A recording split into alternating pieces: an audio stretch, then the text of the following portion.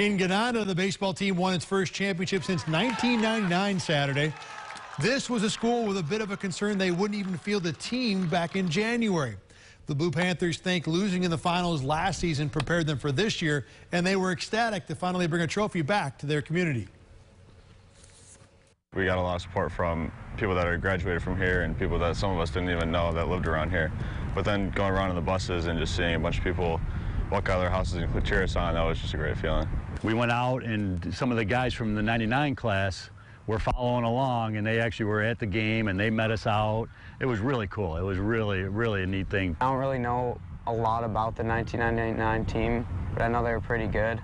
And to be like on the same level as them, that's crazy. You want to be that guy to deliver it, but you don't want to be cocky about it. So it's just, I feel like it's humbling for people to actually like get to make people happy for once in this like town.